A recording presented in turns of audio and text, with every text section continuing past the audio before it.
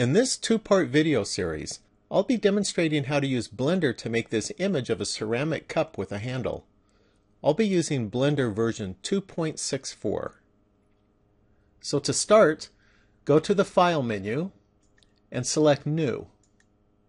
And then just click on Reload Startup File. And then come over to this drop-down menu and select Cycles Render. Some of the older versions of Blender may not have the Cycles render engine. If you don't have this selection, then you can go to blender.org to download the latest version of Blender. If you're brand new to Blender, then there are a couple of things that you should know. If you want to select an object, then right-click on it. For example, if I right-click on this camera here, it will select it. And then to select my object again, I just right-click on it. If you want to rotate an object, then press and hold the middle mouse button, and then you can move the mouse around and that will rotate the object. If you press and hold the Shift key, and then press the middle mouse button, then you can pan the view around. And if you use the scroll wheel on the mouse, then you can zoom in and out. Now the first thing that we want to do is to delete this cube. So right click on it to make sure it's selected, and then press the delete key on the keyboard, and then click on delete. Then go up to the add menu and select mesh and cylinder. And now come over here to this section on the left called add cylinder. And how we do this next step depends upon which version of Blender that you're using. If you're using version 2.64 like I am, then you should see cap fill type. If you have an older version of Blender that does not have this, then you can skip this step. But if you see cap fill type, then open the menu selection and select triangle fan. And now let's use the scroll wheel to zoom in on this a little bit closer. And then open this menu right here and change this to edit mode. And then open this menu and choose wireframe. And then right click on this top center point to select it. And then press the delete key on your keyboard and then click on Vertices. And that will delete the top portion of this cup. And now I'm going to be changing the view by pressing some keys on the number pad. In Blender, the numbers on the right side number pad are different than the numbers on top of the keyboard. So when I press numbers to change the view, I'm using the right side number pad. If you're using a computer that does not have a right side number pad, then you can use the View menu down here. And here you will find the selections that you can use instead of the number pad. So I'm going to press the number 1 on the number pad to give me a front view. And pressing 5 toggles between perspective and orthogonal mode. I'm currently in perspective mode, so now I'll press 5 on the number pad to switch to orthogonal mode. And then I'll use the scroll wheel to zoom in. And now put your cursor over the object and press Ctrl R. Ctrl R is the subdivide loops command. With the cursor still over the object, use the scroll wheel and scroll up until you have four lines. And then press the left mouse button. An important key to remember while you're editing is the letter A.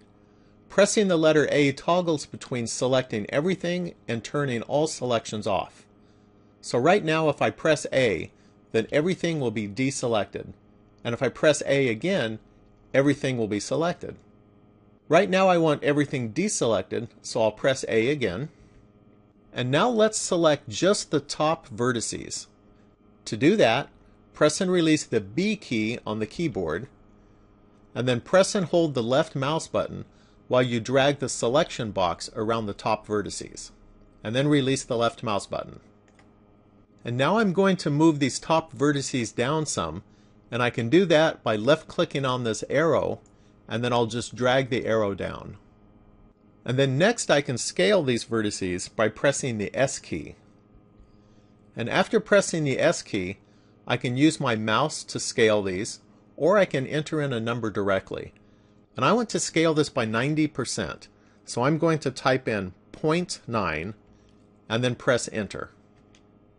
And then I'll press the A key to deselect everything. And then I'll press the B key like I did before. and then press and hold the left mouse button, and this time I'm going to draw the selection around these vertices.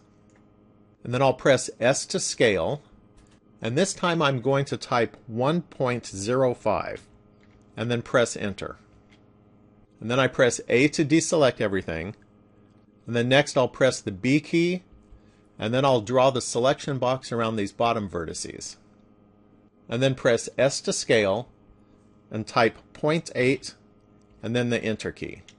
And that will scale this to 80%. And then I can press the A key to deselect everything. And this is the basic shape of our cup.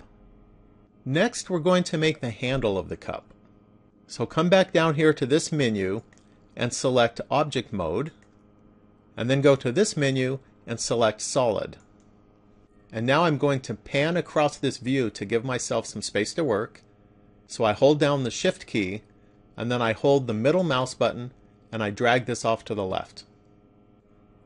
And then come over to this area and click with the left mouse button to give yourself an origin point.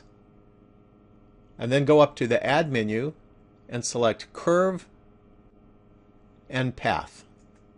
Now I'll use the scroll wheel to zoom out a little bit so I can see this whole path.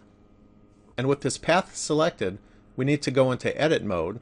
So come down here to this menu and select Edit Mode. And you should notice now along this path that we have five nodes here that we can move around.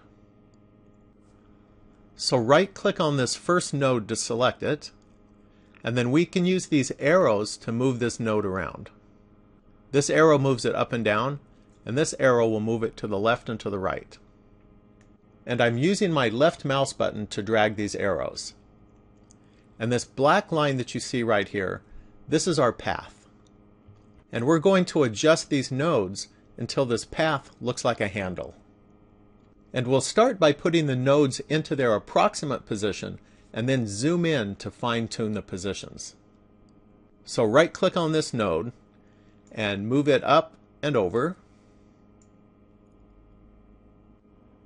And then click on the far right node and move it down and I'll zoom out a little bit so that I can grab this arrow and I'll move this over to the left and then right click on this node to select it and move it over here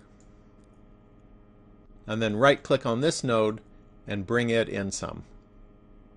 So now let's zoom in on this so that we can fine tune the positions.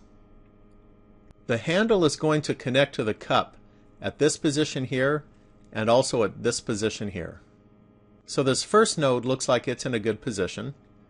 This node down here, I need to bring it up some. And I'll move this node over to the left a little bit and down. And then I'll adjust this one down here. And then finally, I'll select this one right here and pull it in. So now this black line here is going to be the shape of our handle. Now come back down to this menu here and select Object Mode. And then go up to the Add menu and select Curve and Circle. And this is the circle that we created. And I'll rotate the view so that you can see this better. And if you recall, to rotate the view, I just press and hold the middle mouse button while I drag the mouse. And then next we want to scale this circle to be 20% of its size. So press the S key to scale, and then type 0.2, and then press the Enter key. And we're going to be using this circle to give our handle a shape along the path here. If you look up here, you can see the name of this circle that we just created. And let me expand this out so that we can see it better and the circle is called Bezier circle. And to apply this circle to our handle, first select the handle by right-clicking on it, and then come over here and click on the Object Data button that looks like a little path. And then down here you should see a geometry section. And in this section is an entry box called Bevel Object. So click on this entry box and select the Bezier circle. And now we have just applied the circle shape to our handle. Changes that we make to the circle now will be applied to our handle, and we're going to change the circle resolution.